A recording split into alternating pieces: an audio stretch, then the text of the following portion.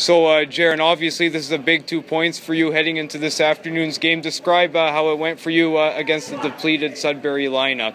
Oh well, they're a great team, but uh, we knew before the game we had to take advantage of their uh, short lineup. They have a few good players out there, so uh, it was great to get the win, and it's uh, good going in the playoffs for us. You headed into uh, today's game minus Joey Miller and Nathan Hebert, two key guys on your team. What went right for you out there against uh, picking up a big two points tonight? Uh, well, those guys are obviously uh, pretty key to our team too. Um, you know, they they add some depth to our team, and uh, without them, it's uh, you know it makes it a, a, little bit more tougher, but it also makes us know that we have to step up that much more.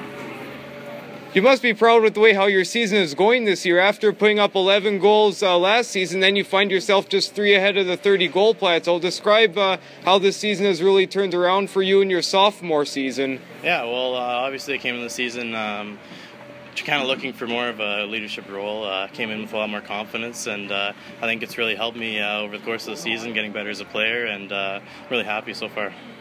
How did it feel getting your second uh, four-point game of the season? Uh, it's uh, pretty good, but uh, more importantly, the win's uh, even better.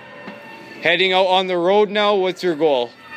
Uh, you just got to get uh, some more some more wins, right? I got to end off the season with those last few wins, end it off strong, and we'll be good to go.